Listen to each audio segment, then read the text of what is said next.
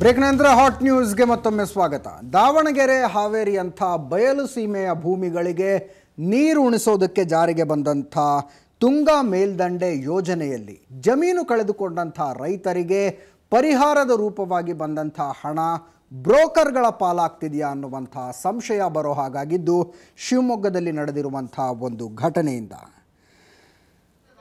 ದಾವಣಗೆರೆ ಜಿಲ್ಲೆ ಕಂಗಟ್ಟೆ ಗ್ರಾಮದ ನಾಲ್ವರು ರೈತರು ಸೇರಿದಂತೆ ಒಟ್ಟು ಇಪ್ಪತ್ತು ಜನರಿಗೆ ಸರ್ಕಾರದಿಂದ ಪರಿಹಾರದ ರೂಪದಲ್ಲಿ ಒಂದು ಕೋಟಿ ಹದಿನಾಲ್ಕು ಲಕ್ಷ ರೂಪಾಯಿ ಹಣ ಬಂದಿತ್ತು. ಆ ಹಣವನ್ನು ರೈತರು ಶಿವಮೊಗ್ಗದ ವೈಶ್ಯ ಬ್ಯಾಂಕ್ನಲ್ಲಿ ಖಾತೆ ಮಾಡಿ ಇಟ್ಕೊಂಡಿದ್ರು. ತಮ್ಮ ಖಾತೆಯ ಚೆಕ್ಬುಕ್ ಮತ್ತು ಎ ಟಿ ಎಂ ಕಾರ್ಡ್ಗಳನ್ನು ರೈತರು ಪಡೀತಿದ್ದ ಹಾಗೆ ಚೀಲೂರು ಗ್ರಾಮದ ಈಶಣ್ಣ ಅನ್ನುವಂಥವನು ರೈತರಿಗೆ ಪರಿಹಾರ ಬರುವಂತೆ ಮಾಡೋದಕ್ಕೆ ಸಹಕಾರ ಕೊಟ್ಟಿದ್ದಕ್ಕಾಗಿ ತನ್ನ ಪರ್ಸಂಟೇಜ್ ಬೇಕು ಅಂತ ಕೇಳ್ದ. ಅದರ ಜೊತೆಗೆ ರೈತರ ಹತ್ರ ಇದ್ದಂಥ ಖಾಲಿ ಚೆಕ್ಗಳಿಗೆ ಸಹಿ ಹಾಕಿಸಿಕೊಂಡು ಎ ಟಿ ಎಂ ಕಾರ್ಡ್ಗಳನ್ನು ತಾನೇ ಪಡೆದುಕೊಂಡ. ರೈತರಿಗೆ ಬರೋ ಪರಿಹಾರದ ಹಣದಲ್ಲಿ ಅರ್ಧದಷ್ಟು ದುಡ್ಡನ್ನು ಇವನೇ ತೆಗೆದುಕೊಳ್ಳೋದಕ್ಕೆ ಮುಂದಾಗಿದ್ದರಿಂದಾಗಿ ರೈತರು ಕೆರಳಿದರು. ವೈಶ್ಯ ಬ್ಯಾಂಕ್ನವರು ಈ ಬ್ರೋಕರ್ ಜೊತೆ ಶಾಮೀಲಾಗಿ ತಮಗೆ ಮೋಸ ಮಾಡ್ತಾ ಇದ್ದಾರೆ ಅನ್ನುವಂಥದ್ದು ರೈತರ ಆರೋಪ. ಇದಕ್ಕೆ ಸಂಬಂಧಪಟ್ಟಂತೆ ರೈತರು ಮತ್ತು ಬ್ಯಾಂಕಿನ ಅಧಿಕಾರಿಗಳ ಜೊತೆ ವಾಗ್ವಾದ ನಡೀತು. ಆ ಸಂದರ್ಭದಲ್ಲಿ ಬ್ರೋಕರ್ನನ್ನು ಬ್ಯಾಂಕಿಗೆ ಕರೆಸಲಾಯಿತು. ಬ್ಯಾಂಕಿಗೆ ಬಂದ ಬ್ರೋಕರ್ ಈಶಣ್ಣನನ್ನು ನೋಡಿ ರೈತರು ಕೆರಳಿದ್ರು. ತಮ್ಮ ಹಣ ತಮಗೆ ಕೊಡುವಂತೆ ಕೂಗಾಡಿದ್ರು. ಆದರೆ ಎಲ್ಲಿ ತನಗೆ ಏಟು ಬೀಳ್ತವೋ ಅಂತ ಹೆದರಿದ ಈಶಣ್ಣ ಅಲ್ಲಿಂದ ಜಾಗ ಖಾಲಿ ಮಾಡ್ದ. ಗಲಾಟೆಯ ಮಾಹಿತಿಯನ್ನ ಪಡೆದಂಥ ಪೊಲೀಸರು ಸ್ಥಳಕ್ಕೆ ಬಂದರು.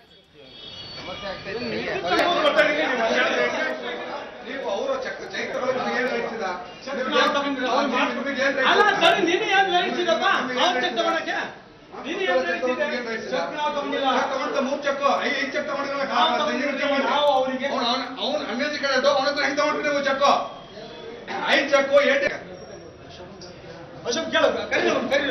ತಗೊಂಡಿಲ್ಲ ನಾವು ತಗೊಂಡಿಲ್ಲ, ನಾವು ಅವ್ರಿಗೆ ಅವ್ನು ಅನ್ಯಜಿ ಕಡೆ ಅವನ ಹತ್ರ ಹೆಂಗ್ ತಗೊಂಡ್ರಿ ನೀವು ಚೆಕ್ ಐದು ಚೆಕ್ ಏಟ್ ಅಶೋಕ್ ಕೇಳು ಕರೀಲಿ ಅವ್ನು, ಕರೀಲಿ ಅವ್ನು. ನೀನು ಅದ್ರ ಬಿಡ್ಸ್ಕೊಳ್ಳಿಕ್ಕೆ ನಾವು ಬಿಡ್ಸಿದ್ರಲ್ಲ? ನೀವೇ ತಗೊಂಡ್ರಿ, ನೀವೇ ತಗೊಂಡ್ರಿ, ನೀವೇ ತಗೊಂಡ್ರಿ. ಏನ್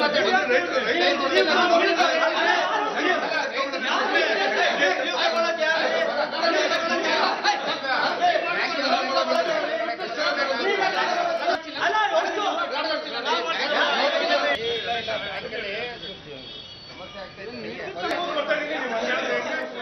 ನೀವು ಅವರು ಚೆಕ್ ಚೆಕ್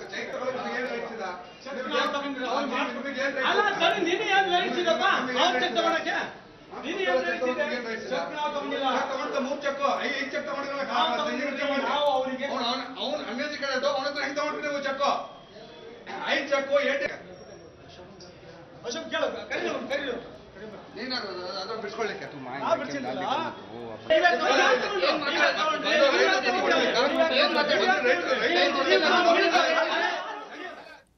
ಈ ಪ್ರಕರಣದ ಬಗ್ಗೆ ಹೆಚ್ಚಿನ ಮಾಹಿತಿ ಕೊಡೋದಕ್ಕೆ ಭೋಜ ನಾಯಕ, ರೈತ ಮುಖಂಡರು ನಮ್ಮ ಜೊತೆ ಶಿವಮೊಗ್ಗ ಸ್ಟುಡಿಯೋದಿಂದ ನೇರ ಸಂಪರ್ಕದಲ್ಲಿದ್ದಾರೆ.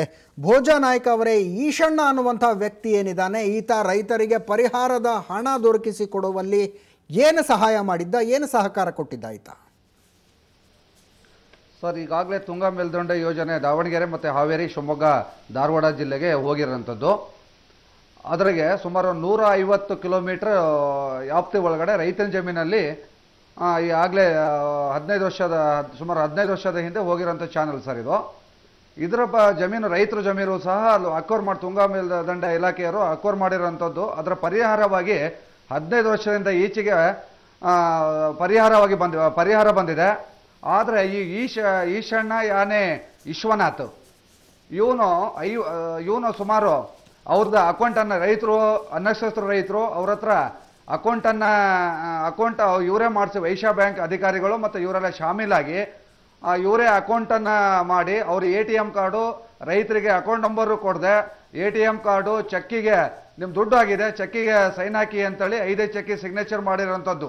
ಅದರ ವಿಚಾರವಾಗಿ ನಾವು ಸಹ ಬ್ಯಾಂಕಲ್ಲಿ ವಿಚಾರಣೆ ಮಾಡಿದಾಗ ರೈತರು ರೈತರು ಹೋಗಿ ವಿಚಾರಣೆ ಮಾಡಿದಾಗ, ಬ್ಯಾಂಕ್ ಅಧಿಕಾರಿಗಳು ಅವ್ರ ಮೇಲೆ ದೌರ್ಜನ್ಯ ಮಾಡಿದ್ದು.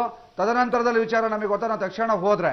ಹೋದ ಸಂದರ್ಭದಲ್ಲಿ ಅವರು ಸಹ ಆ ರೈತರ ಆಗಿರುವಂಥ ಹಣ ಕೊಡಿ ಅಂತ ಕೇಳೋ ಸಂದರ್ಭದಲ್ಲೂ ಸಹ ಬ್ಯಾಂಕ್ ಅಧಿಕಾರಿಗಳು ಯಾವುದೇ ಸಹ ಅದನ್ನು ಸಹಾಯ ಮಾಡಲಿಕ್ಕೆ ಮುಂದುವರಲಿಲ್ಲ.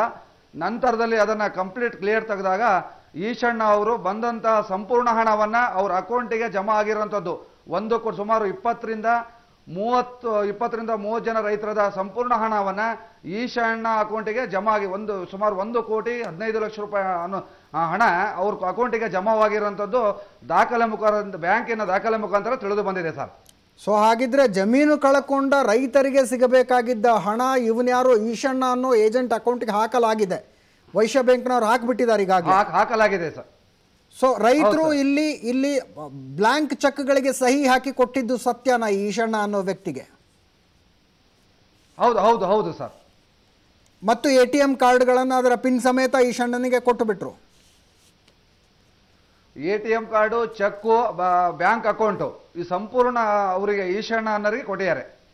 ಅಲ್ಲ ನನಗೆ ಸಂಶಯ ಇರುವಂಥದ್ದು ಎ ಟಿ ಎಂ ಕಾರ್ಡ್ಗಳನ್ನು ರೈತರು ಈಶಣ್ಣನಿಗೆ ಕೊಟ್ರ ಅಥವಾ ಬ್ಯಾಂಕಿನ ಸಿಬ್ಬಂದಿಯೇ ಈಶಣ್ಣನಿಗೆ ಕೊಟ್ರ ಅಂತ? ಸರ್ ಇದು ರೈತ ರೈತ ಇವ್ರಿಗೆ ಎ ಟಿ ಎಂ ಏನು ಬ್ಯಾಂಕ್ ಅಕೌಂಟ್ ಮಾಡ್ಸಕ್ಕೆ ಕರ್ಕೊಂಡು ಹೋದ್ರು ರೈತರಿಗೆ ಇವರೇ ಶೂರಿಟಿದಾರಾಗಿ ಬ್ಯಾಂಕಿನ ಅಧಿಕಾರಿಗಳೇ ಅವ್ರ ಹತ್ರ ಇಸ್ಕೊಂಡಿರೋ ಬ್ಯಾಂಕಿನ ಅಧಿಕಾರಿಗಳ ಹತ್ರನೇ ಇಸ್ಕೊಂಡಿದ್ದಾರೆ ಈಶಾ ಅವರು. ಸೊ ಹಾಗಾದ್ರೆ ಹಾಗಾದ್ರೆ ಬ್ಯಾಂಕಿನ ಸಿಬ್ಬಂದಿ ಈಶಣ್ಣ ಅನ್ನೋ ಈ ವ್ಯಕ್ತಿಯ ಜೊತೆಗೆ ಶಾಮೀಲಾಗಿದ್ದಾರೆ ಅನ್ನೋದು ಮೇಲ್ನೋಟಕ್ಕೆ ಸಾಬೀತಾದಾಗಾಯ್ತು. ಸರ್ ಖಂಡಿತ ಖಂಡಿತ ಸರ್. ಖಂಡಿತ ಅಧಿಕಾರಿಗಳು ಶಾಮೀಲಾಗಿದ್ದಾರೆ. ಸಂಪೂರ್ಣ ಹಣವನ್ನು ಸಹ ಡ್ರಾ ಮಾಡಿರೋದು ಅಧಿಕಾರಿಗಳಿಗೆ ಬ್ಯಾಂಕಿನ ಅಧಿಕಾರಿ ಮ್ಯಾನೇಜರಿಗೆ ಗೊತ್ತಿದೆ ಇರುವಂಥದ್ದು ಸರ್ ಇದು. ಎಸ್ ಧನ್ಯವಾದ ಭೋಜನಾಯ್ಕ ಅವರೇ. ನಮಗೆ ನಮ್ಮ ಜೊತೆಗೆ ಮಾಹಿತಿ ಹಂಚಿಕೊಂಡಿದ್ದಕ್ಕಾಗಿ. ಬಡ ರೈತರು ಭೂಮಿಯನ್ನು ನಂಬಿಕೊಂಡು ಬದುಕುವಂಥವರು ಅವರು ತುಂಗಾ ಮೇಲ್ದಂಡೆ ಯೋಜನೆಗೆ ತಮ್ಮ ಜಮೀನುಗಳನ್ನು ಕಳೆದುಕೊಂಡಿದ್ದಾರೆ. ಅವರ ಹಕ್ಕು, ಪರಿಹಾರದ ಸಂಪೂರ್ಣ ಹಣವನ್ನು, ಕಟ್ಟ ಕಡೆಯ ಪೈಸೆಯನ್ನು ಕೂಡ ಪಡೆಯುವಂಥದ್ದು ರೈತರ ಹಕ್ಕು. ಇದ್ಯಾವನೋ ಬ್ರೇ, ಬ್ರೋಕರ್ ಮಧ್ಯದಲ್ಲಿ ಬಂದು ನಾನು ನಿಮಗೆ ಸಹಾಯ ಮಾಡಿದ್ದೀನಿ ಅದರಿಂದ ನನಗೆ ಕಮಿಷನ್ ಕೊಡಬೇಕು ಅಂದ. ಒಂದಷ್ಟು ಪರ್ಸೆಂಟ್ ಕಮಿಷನ್ ಆಗಿದ್ದರೆ ರೈತರು ದೊಡ್ಡ ಮನಸ್ಸು ಮಾಡಿ ಕೊಟ್ಟು ಬಿಡ್ತಾ ಇದ್ರು ಏನೋ. ಆದರೆ ಇಪ್ಪತ್ತು ಜನ ರೈತರ ಒಂದು ಕೋಟಿಗೂ ಹೆಚ್ಚಿನ ಹಣ ಆತನ ಅಕೌಂಟ್ನಲ್ಲಿದೆ. ವೈಶ್ಯ ಬ್ಯಾಂಕಿನ ಹಿರಿಯ ಅಧಿಕಾರಿಗಳ ಜವಾಬ್ದಾರಿ ಕೂಡ ಆಗುತ್ತೆ. ಒಂದು ವೇಳೆ ಶಿವಮೊಗ್ಗ ವೈಶ್ಯ ಬ್ಯಾಂಕ್ನವರು ಇದರಲ್ಲಿ ಶಾಮೀಲಾಗಿದ್ದರೆ ಅಂಥವರ ವಿರುದ್ಧ ಕಠಿಣ ಕ್ರಮ ಕೈಗೊಳ್ಳದೇ ಇದ್ದರೆ ಅದು ಅನ್ಯಾಯ ಅನ್ನಿಸ್ಕೊಳ್ಳುತ್ತೆ. ಇನ್ನು ಮುಂದಿನ ಸ್ಟೋರಿಗೆ ಹೋಗ್ತಾ ಇದ್ದೀವಿ ಚಿತ್ರದುರ್ಗದಲ್ಲಿ. ಸಿ ಸಿ ಟಿ ವಿ ದೃಶ್ಯ ಒಂದು ಸೆರೆಯಾಗಿರುವಂಥದ್ದು, ಒಂದು ಕಳ್ಳತನದ ದೃಶ್ಯ ಇದು. ಸೋನಿ ಬನ್ಸಿ ಲಾಲ್ ಬಂಗಾರದ ಅಂಗಡಿಯಲ್ಲಿ ನಾಲ್ವರು ಕಳ್ಳರು ವ್ಯಾಪಾರಿಗಳ ಸೋಗಿನಲ್ಲಿ ಬಂದು ಆರು ಲಕ್ಷ ಮೌಲ್ಯದ ಇನ್ನೂರು ಗ್ರಾಂ ಚಿನ್ನಾಭರಣವನ್ನು ಕಳವು ಮಾಡಿ ಪರಾರಿಯಾಗಿರುವಂಥದ್ದು. ಆನೆಬಾಗಿಲ ಹತ್ರ ಇರುವಂಥ ಸೋನಿ ಬನ್ಸಿಲಾಲ್ ಚಿನ್ನದ ಅಂಗಡಿಗೆ ಮೂರು ಜನ ಮಹಿಳೆಯರು, ಒಬ್ಬ ಪುರುಷ ಚಿನ್ನ ಖರೀದಿಸುವ ನೆಪದಲ್ಲಿ ಬರ್ತಾರೆ. ಚಿನ್ನಾಭರಣ ತೋರಿಸುವಂತೆ ಅಂಗಡಿ ಮಾಲೀಕರು ಬೇರೊಂದು ಆಭರಣವನ್ನು ತೋರಿಸೋದಕ್ಕೆ ಮತ್ತೊಂದು ಕಡೆ ತಿರುಗಿದಾಗ ಮಹಿಳೆಯೊಬ್ಬಳು ಬಗ್ಗಿ ಚಿನ್ನಾಭರಣವನ್ನು ಕಳ್ಳತನ ಮಾಡಿ ತನ್ನ ಬ್ಯಾಗ್ನಲ್ಲಿ ಹಾಕ್ಕೊಂಡಿದ್ದಾಳೆ ನಂತರ ಮೂರು ಜನ ಕೂಡ ಅಲ್ಲಿಂದ ಕಾಲು ಕೀಳ್ತಾರೆ. ಇದು ಗಮನಕ್ಕೆ ಬಂದಾಗ ಅಂಗಡಿ ಮಾಲೀಕ ಆರು ಲಕ್ಷ ಮೌಲ್ಯದ ಇನ್ನೂರು ಗ್ರಾಂ ಚಿನ್ನಾಭರಣ ಕಳ್ಳತನ ಆಗಿದೆ ಅನ್ನೋದನ್ನು ಗುರುತಿಸ್ತಾರೆ. ಕಳೆದ ತಿಂಗಳಲ್ಲಿ ಇಂಥದ್ದೇ ಒಂದು ಕಳ್ಳರ ತಂಡ ಬಂದು ಚಿನ್ನವನ್ನು ದೋಚಿ ಪರಾರಿಯಾಗಿತ್ತು. ಇದು ಎರಡನೇ ಪ್ರಕರಣ ಇಲ್ಲಿ ನಡೆದಿರುವಂಥದ್ದು. ಕಳೆದ ಸಲದ ಪ್ರಕರಣದಲ್ಲಿ ಠಾಣೆ ಪೊಲೀಸರು ಪ್ರಕರಣವನ್ನು ದಾಖಲಿಸಿಕೊಂಡಿದ್ದರು ಇವತ್ತು ನಡೆದಂಥ ಪ್ರಕರಣವನ್ನು ಕೋಟಿ ಠಾಣೆ ಪೊಲೀಸರು ದಾಖಲಿಸಿಕೊಂಡು ತನಿಖೆ ನಡೆಸ್ತಾ ಇದ್ದಾರೆ.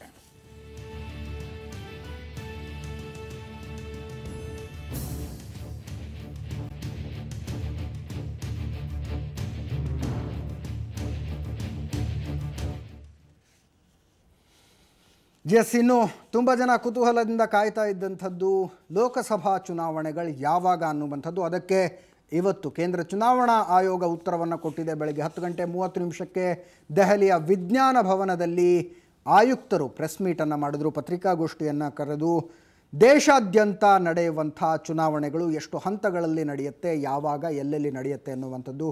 ಅದರಲ್ಲಿ ಕರ್ನಾಟಕದ ಚುನಾವಣೆಯ ವೇಳಾಪಟ್ಟಿಯ ವಿವರವಾದ ವರದಿಯನ್ನು ನಾವು ನಿಮಗೋಸ್ಕರ ತಂದಿದ್ದೀವಿ.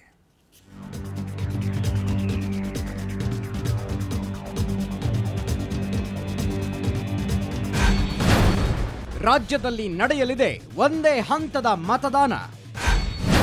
ಏಪ್ರಿಲ್ ಹದಿನೇಳರಂದು ಮತದಾನ ಮಾಡಲು ರೆಡಿಯಾಗಿ. ರಾಜ್ಯದ ಇಪ್ಪತ್ತೆಂಟು ಲೋಕಸಭಾ ಕ್ಷೇತ್ರಗಳಿಗೆ ಒಂದೇ ಹಂತದ ಮತದಾನ ನಡೆಯಲಿದೆ. ಕಳೆದ ಬಾರಿ ಎರಡು ಹಂತದಲ್ಲಿ ಮತದಾನ ನಡೆದಿತ್ತು. ಆದರೆ ಈ ಬಾರಿ ಏಪ್ರಿಲ್ ಹದಿನೇಳರಂದು ಒಂದೇ ಹಂತದಲ್ಲಿ ಮತದಾನ ನಡೆಸಲು ಆಯೋಗ ನಿರ್ಧರಿಸಿದೆ. ಕರ್ನಾಟಕ ಮಹಾಸಮರ ಮಾರ್ಚ್ ಹತ್ತೊಂಬತ್ತರಂದು ಅಧಿಸೂಚನೆ ಪ್ರಕಟವಾಗಲಿದೆ. ಮಾರ್ಚ್ ಇಪ್ಪತ್ತಾರು ನಾಮಪತ್ರ ಸಲ್ಲಿಕೆಗೆ ಕೊನೆ ದಿನವಾಗಿದ್ದು, ಮಾರ್ಚ್ ಇಪ್ಪತ್ತೊಂಬತ್ತು ನಾಮಪತ್ರ ವಾಪಸಾತಿಗೆ ಕೊನೆ ದಿನ. ಏಪ್ರಿಲ್ ಹದಿನೇಳರಂದು ಮತದಾನ ನಡೆಯಲಿದ್ದು, ಮೇ ಹದಿನಾರರಂದು ಫಲಿತಾಂಶ ಪ್ರಕಟವಾಗಲಿದೆ. ರಾಜ್ಯದಲ್ಲಿ ಒಟ್ಟು ಇಪ್ಪತ್ತೆಂಟು ಲೋಕಸಭಾ ಕ್ಷೇತ್ರಗಳಿದ್ದು, ಇದರಲ್ಲಿ ಇಪ್ಪತ್ತೊಂದು ಸಾಮಾನ್ಯ ಕ್ಷೇತ್ರಗಳು, ಐದು ಪರಿಶಿಷ್ಟ ಜಾತಿ ಹಾಗೂ ಎರಡು ಪರಿಶಿಷ್ಟ ಪಂಗಡ ಕ್ಷೇತ್ರಗಳಿವೆ. ಇನ್ನು ಒಂದೇ ಹಂತದ ಚುನಾವಣೆಗೆ ಕಾಂಗ್ರೆಸ್ ಬಿಜೆಪಿ ಹಾಗೂ ಜೆಡಿಎಸ್ ನಾಯಕರು ಸ್ವಾಗತಿಸಿದ್ದಾರೆ. ಈಗಾಗಲೇ ಚುನಾವಣೆ ಸಿದ್ಧತೆಯನ್ನು ಸಂಪೂರ್ಣವಾಗಿ ಮಾಡಿಕೊಂಡಿದ್ದೇವೆ. ಒಂದೇ ಒಂದು ಅಂದರೆ ಹದಿನೇಳನೇ ತಾರೀಕು ಚುನಾವಣೆ ಆದ ನಂತರ ಹದಿನಾರು ಮೇವರೆಗೆ ನಾವು ರಿಸಲ್ಟ್ಗಾಗಿ ಕಾಯಬೇಕು ಅನ್ನೋದನ್ನು ಬಿಟ್ಟರೆ ಉಳಿದೆಲ್ಲ ರೀತಿಯಿಂದ ಈ ಚುನಾವಣೆ ಡೇಟ್ಗಳು ಚುನಾವಣೆ ಆಯೋಗ ತೆಗೆದುಕೊಂಡಂಥ ನಿರ್ಧಾರ ಸರಿಯಾಗಿದೆ. ಮುಂದಿನ ಲೋಕಸಭಾ ಚುನಾವಣೆಯ ದಿನಾಂಕವನ್ನು ನಿಗದಿಗೊಳಿಸಿರ್ತಕ್ಕಂಥದ್ದೇನಿದೆ, ಕರ್ನಾಟಕದಲ್ಲಿ ಒಂದೇ ಹಂತದಲ್ಲಿ ಏಪ್ರಿಲ್ ಹದಿನೇಳನೇ ತಾರೀಕು ಚುನಾವಣೆ ದಿನಾಂಕವನ್ನು ಘೋಷಣೆ ಮಾಡಿದ್ದಾರೆ. ಈ ಒಂದು ತೀರ್ಮಾನವನ್ನು ನಮ್ಮ ಪಕ್ಷ ಮುಕ್ತವಾದ ಮನಸ್ಸಿನಿಂದ ಸ್ವಾಗತವನ್ನು ಕೋರ್ತಾ ಇದ್ದೇವೆ. ಕಾಂಗ್ರೆಸ್ ಹಾಗೂ ಬಿಜೆಪಿ ರಾಷ್ಟ್ರೀಯ ನಾಯಕರು ರಾಜ್ಯದಲ್ಲಿ ಈಗಾಗಲೇ ಒಂದು ಸುತ್ತಿನ ಮತ ಪ್ರಚಾರ ನಡೆಸಿದ್ದಾರೆ. ಈಗ ದಿನಾಂಕ ಘೋಷಣೆಯಾಗಿರೋದ್ರಿಂದ ಇನ್ನು ಪ್ರಚಾರದ ಭರಾಟೆ ಜೋರಾಗಲಿದೆ. ಅಲ್ಲದೆ ಅಭ್ಯರ್ಥಿಗಳ ಆಯ್ಕೆ ಕಸರತ್ತು ಕೂಡ ಚುರುಕಾಗಲಿದೆ. Bureau report, Suvarna news. Yes ಇದು ರಾಜ್ಯದಲ್ಲಿ ಒಂದೇ ಹಂತದಲ್ಲಿ ಚುನಾವಣೆ ನಡೆಯುತ್ತೆ ಅನ್ನುವಂತಹ ವಿಷಯ ರಾಜಕೀಯ ಪಕ್ಷಗಳನ್ನು ಸಂತೋಷಕ್ಕೀಡು ಮಾಡಿರುವಂಥದ್ದು, ಒಂದೇ ದಿನ ಚುನಾವಣೆ ನಡೆಯುತ್ತೆ ಅನ್ನುವಂಥದ್ದು, ಬಹುಶಃ ಏಕಾಏಕಿ ಕರ್ನಾಟಕದಲ್ಲಿ ಪ್ರಚಾರ ನಡೆಸೋದಕ್ಕೆ ತುರುಸು ಆರಂಭ ಆಗುತ್ತೆ. ಮಾರ್ಚ್ ಹತ್ತೊಂಬತ್ತನೇ ತಾರೀಕು ಅಧಿಸೂಚನೆ ಪ್ರಕಟ. ನಾಮಪತ್ರ ಸಲ್ಲಿಕೆಗೆ ಕೊನೆಯ ದಿನ, ಮಾರ್ಚ್ ಇಪ್ಪತ್ತಾರನೇ ತಾರೀಕು ನಾಮಪತ್ರ ವಾಪಸ್ಗೆ ಕೊನೆಯ ದಿನ, ಮಾರ್ಚ್ ಇಪ್ಪತ್ತೊಂಬತ್ತು ಮತದಾನ. ಏಪ್ರಿಲ್ ಹದಿನೇಳನೇ ತಾರೀಕು ಫಲಿತಾಂಶ. ಫಲಿತಾಂಶ, ಮೇ ಹದಿನಾರನೇ ತಾರೀಕು. ಒಂದೇ ದಿನದಲ್ಲಿ ದೇಶಾದ್ಯಂತ ನಡೆದಂಥ ಎಲ್ಲ ಮತದಾನದ ಫಲಿತಾಂಶ ಮೇ ಹದಿನಾರನೇ ತಾರೀಕು ಪ್ರಕಟ ಆಗುತ್ತೆ.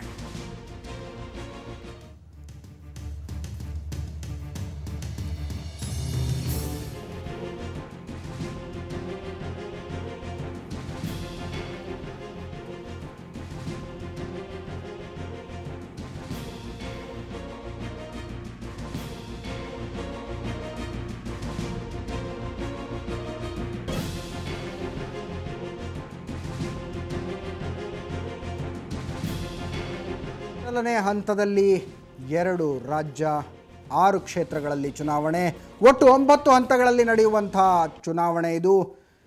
ಮೂರನೇ ಹಂತ ಹದಿನಾಲ್ಕು ರಾಜ್ಯಗಳಲ್ಲಿ ನಡೆಯುತ್ತೆ ತೊಂಬತ್ತೆರಡು ವಿಧಾನಸಭಾ ಕ್ಷೇತ್ರಗಳಲ್ಲಿ ಏಪ್ರಿಲ್ ಹತ್ತನೇ ತಾರೀಕು ಅತಿ ದೊಡ್ಡ ಚುನಾವಣೆ ಅಂತ ಅನ್ನಿಸ್ಕೊಂಡಿರುವಂಥದ್ದು. ಇನ್ನು ಐದನೇ ಹಂತದಲ್ಲಿ ಹದಿಮೂರು ರಾಜ್ಯಗಳಲ್ಲಿ ಚುನಾವಣೆ ನಡೆಯುತ್ತೆ. ಅನಾ ಮತ್ತು ನೂರ ಇಪ್ಪತ್ತೆರಡು ರಾಜ್ಯ ನೂರ ಇಪ್ಪತ್ತೆರಡು ಕ್ಷೇತ್ರಗಳಲ್ಲಿ ಏಪ್ರಿಲ್ ಹದಿನೇಳನೇ ತಾರೀಕು. ಇನ್ನು ಆರನೇ ಹಂತ ಹನ್ನೆರಡು ರಾಜ್ಯಗಳ ನೂರ ಹದಿನೇಳು ಲೋಕಸಭಾ ಕ್ಷೇತ್ರಗಳಲ್ಲಿ ಏಪ್ರಿಲ್ ಇಪ್ಪತ್ನಾಲ್ಕನೆಯ ತಾರೀಕು.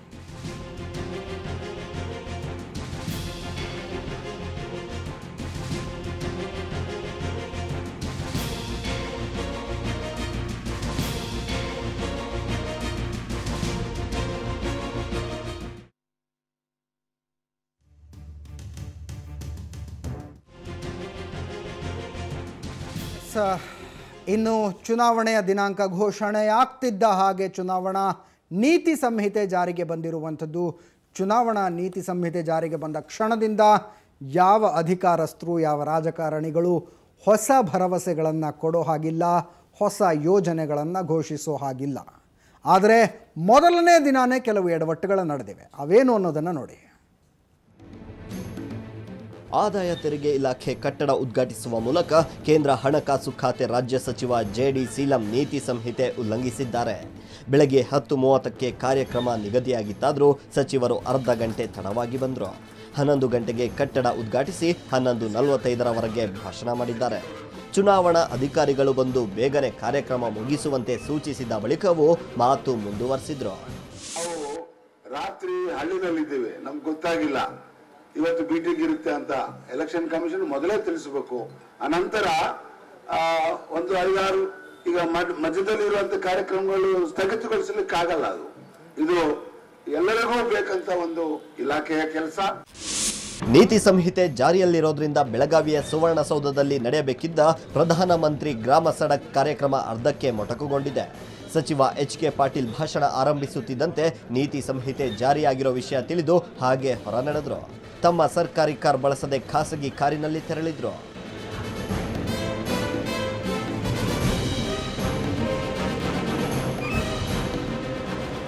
ನೀತಿ ಸಂಹಿತೆ ಜಾರಿಯಾದ ನಂತರವೂ ಚಾಮರಾಜನಗರದಲ್ಲಿ ವಿವಿಧ ಅಭಿವೃದ್ಧಿ ಕಾಮಗಾರಿಗಳಿಗೆ ಚಾಲನೆ ನೀಡಲಾಗಿದೆ. ಯಳಂದೂರಿನಲ್ಲಿ ದಿವಾನ್ ಪೂರ್ಣಯ್ಯ ಪ್ರಾಚ್ಯ ವಸ್ತು ಸಂಗ್ರಹಾಲಯವನ್ನು ಸಚಿವ ಎಚ್ ಎಸ್ ಮಹಾದೇವ ಪ್ರಸಾದ್ ಉದ್ಘಾಟಿಸಿದ್ದಾರೆ. ನೀತಿ ಸಂಹಿತೆ ಉಲ್ಲಂಘಿಸಿ ಸರ್ಕಾರಿ ಕಾರಲ್ಲೇ ಪ್ರಯಾಣ ಮಾಡಿದ್ದಾರೆ.